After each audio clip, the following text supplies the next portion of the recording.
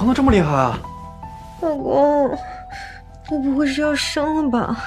别怕，老公陪着你呢。你预产期还有一个月呢，孩子大了，在肚子里折腾呢，没事儿。妈是过来人，她说没事啊，那应该真是正常情况。雨姐，爷爷，雨姐，雨姐，啊！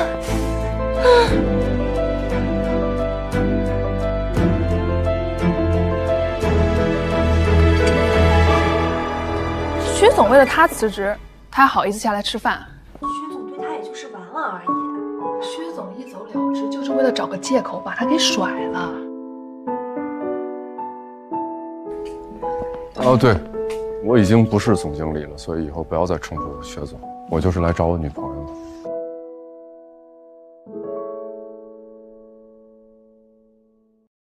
恭喜你，夏总监，才两年的时间，终于得偿所愿。我呢，对现在的生活很满意，我希望可以一直这样下去。我跟你一起去新加坡，异地恋它不靠谱。我是去工作的，我没有要跟你分开啊。薛远明，我想问问你，在你的未来里有我吗？你有想过跟我结婚吗？我回答不了。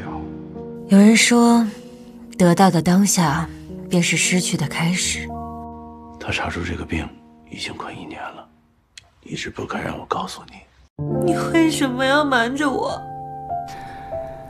雨姐，我把果果托付给你，我就放心了。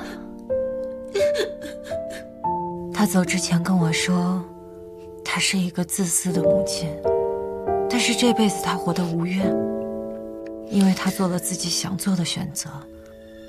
如果一切还能重新选一次的话，你还是当时那个选择吗？你失恋了？我们每个人每一天都在做关于 A 或 B 的选择，不管怎么选，可能都不会太差，但也不必想得太好，一切皆有可能。当我们想好了下一段路程，也就可以好好和过去告别。我们分手吧。我想和过去的一切彻底告别，去挑战新的机会。咱们合伙吧。咱们人生观、价值观确实有很大区别。夏老板，这是你的店，你想怎么折腾就怎么折腾，其实和我没关系。